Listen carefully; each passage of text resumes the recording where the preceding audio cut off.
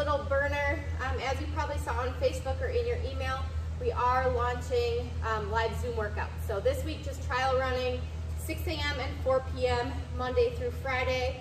Um, so hopefully see some of your pretty faces tomorrow. Um, otherwise, we're gonna get a quick warm up in of the movements that we're going through in our conditioning and then ending with some shoulder press for strength.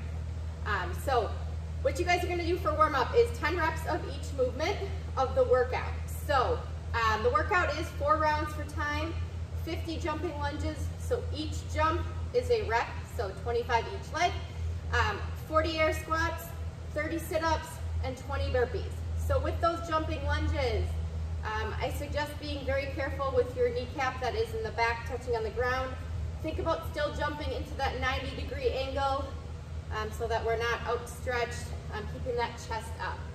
Um, if you do not want to be jumping or for some reason you cannot jump, let's just modify to lunges walking in place. Um, still the same rep count, uh, 50 total. So let's get 10 in right now for the warm up. Then you have 40 air squats. So air squats, we're dropping our hips below parallel, keeping that chest up, still making sure we're engaging that core. Let's make sure we're not butt winking. So 10 air squats, then 10 sit-ups. So any way you need to do this is fine, whether you need to tuck your feet under an object, um, an ab mat sit-up, if it needs to be some sort of tuck crunch, whatever you need to do to get 30 sit-ups in is perfectly okay. Uh, and then 20 burpees. So we are laying down, chest and thighs are touching, and then we are standing up and overhead and clapping. So it is four rounds of that. Um, it should be a nice little sweat, get, get you going for the day. All right, so after your 10 reps, warm up, let's get into that workout, get that done. After that workout, we have four sets of max effort single arm shoulder press. So shoulder press, feet are underneath our hips.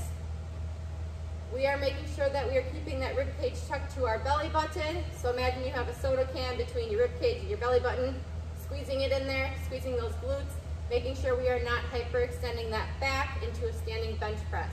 So one arm at a time, four sets each arm. Make sure we're keeping that bicep uh, close to our ear at the top and keeping that dumbbell over our body.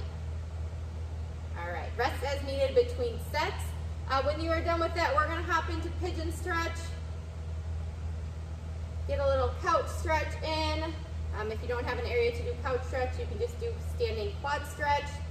Seal stretch, get that core opened up, and then iron cross uh, get that chest and shoulder opened up a little bit. If anything else is bugging you, feel free to uh, stick around, well, stick around in your own house and stretch it out. Have a great day, you guys. Hopefully see some of you online.